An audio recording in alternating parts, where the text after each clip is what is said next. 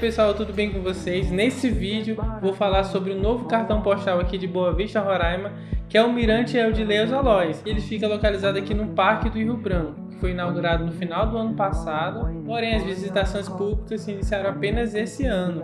E você deve se perguntar como é que faz para conhecer esse mirante. Nesse vídeo vou falar justamente sobre isso, então acompanhe até o fim.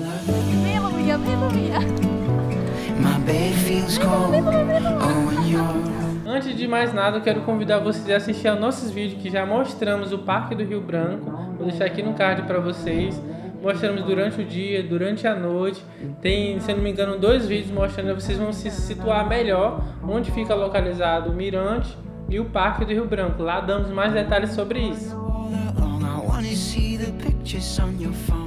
Então, Eres, eu quero muito conhecer o Mirante Eudileus Alois. E aí, o que, que eu devo fazer? Primeiramente, você deve agendar a sua visita.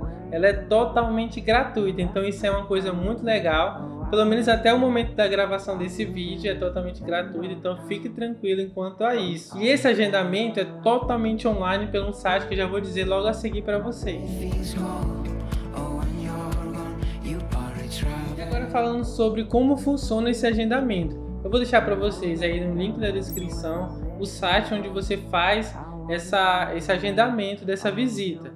E quando você já entrar no site, você vai ver essa tela onde vai mostrar os dias de visitação, os horários, e aí você pode acessar, é, por exemplo, se você vai tentar entrar no dia 29 de 9 de 2021.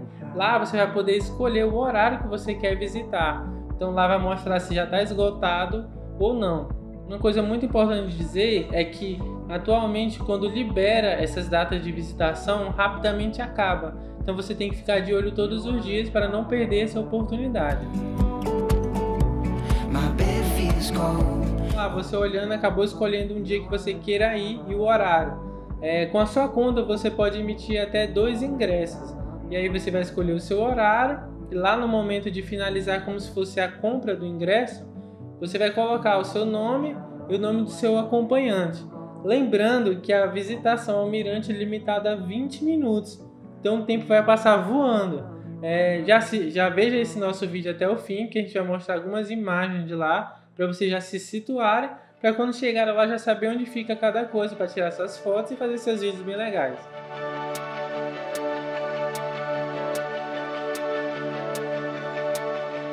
Dizer que você conseguiu agendar sua visitação ao Mirante, você está ansioso. Agora eu vou falar alguns cuidados que você deve ter é, no momento que você for visitar o Mirante. Primeiramente, chegue no horário ou antes disso, né, para você não se atrasar, porque você tem o seu horário agendado. Vamos dizer que você agendou para 8 e meia da manhã. Se você chegar a 8h40, você ainda poderá subir, mas 8h50 você terá que sair, porque você tem apenas 20 minutos. Então, os 20 minutos vai correr. Você não vai começar a contar no momento que você chegar, entendeu? Então, atente-se a isso também. Uma outra informação bem atualizada agora é que você precisa levar um documento com foto no momento que você for é, chegar lá no Mirante. Por quê? Por que isso está acontecendo? Porque muita gente está fazendo reservas de ingresso e está vendendo esse ingresso para outras pessoas. E como o Mirante, né, a prefeitura não cobra a visitação até o momento, muitas pessoas estão lucrando com isso, né? Então muita gente estava fazendo pedido de ingresso, marcando horário, né? E com isso muitas pessoas não conseguiam visitar e depois elas estavam vendendo na internet.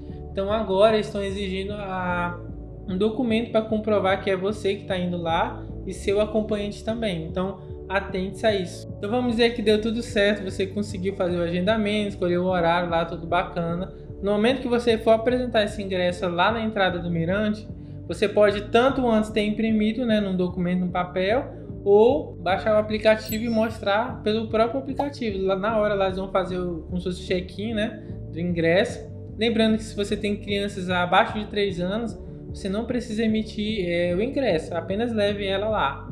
E para subir ou descer no mirante existem três formas: uma escada e dois elevadores. Claro que ninguém vai usar a escada, porque até chegar lá no topo é, já passou teus 20 minutos. Provavelmente ela será usada apenas em caso de emergência. E esses dois elevadores, um é o elevador social e o outro é o elevador panorâmico. É, por questões de controle, você vai subir em um, em um e descer num outro elevador. Como assim? você pode chegar lá e daí eles escolheram, não, você vai subir num elevador panorâmico. E esse elevador panorâmico você tem toda a visão do Rio Branco e da ponte, né? Então é muito legal de ver. É, provavelmente é a, é a melhor visão que você vai ter, né? Do elevador e você vai acompanhar toda a sua subida. E o outro elevador, como eu falei, é o social. Nele você não tem nenhuma visão.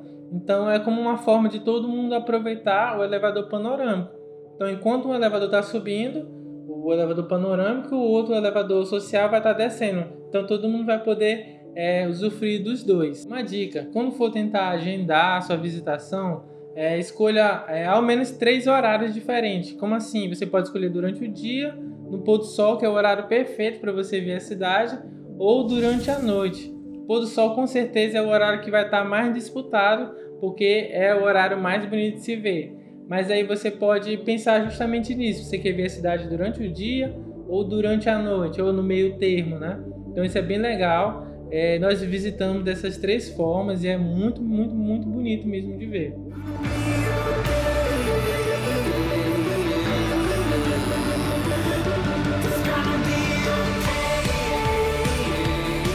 falei anteriormente, a duração lá dessa visitação no Mirante é apenas de 20 minutos, então vai passar voando, acredita em mim.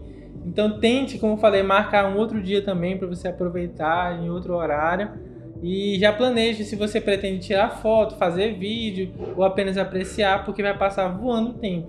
Lembrando lá que também tem uma parte com o chão de vidro para os corajosos, então você consegue ver o chão lá, né, lá de cima, e é bem legal também. É uma outra coisa bem legal também é que se você não conhece Boa Vista ou o Parque do Rio Branco, lá em cima tem como se fosse guias. Tem pessoas que vão auxiliar vocês, vai tipo, ah, o Parque do Rio Branco foi inaugurado em tal dia, e aí tem a selvinha amazônica, tem o Rio Branco. Eles vão, vou mostrar para vocês a cidade lá de cima.